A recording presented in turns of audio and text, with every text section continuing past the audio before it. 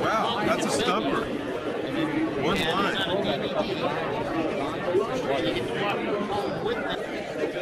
I wouldn't have him say one line. Not at all? That's a good choice not to say anything. You asked this question out of the people? Yep. Have they given you Yes and no. Yes and no.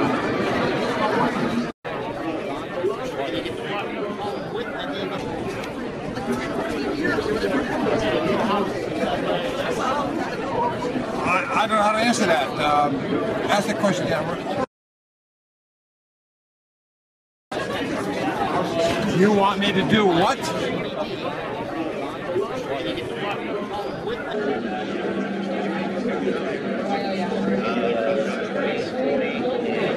That's good question. Uh, I'm the purest of all I evil. even put your kiss on the end of that. There you go. Or how about does mask make me look Thank so.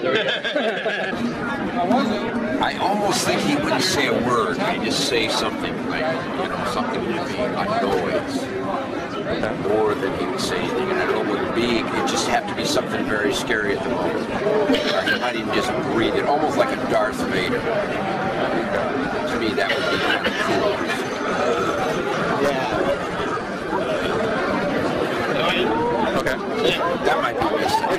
And it depends on what scene is. Gee, but it's great to be back home. Home family. That'd be hard to answer because uh, I'm not into the character, so it'd be really hard for me to say, but uh, I'll be watching you or something like that, you know, or, because that's what he did.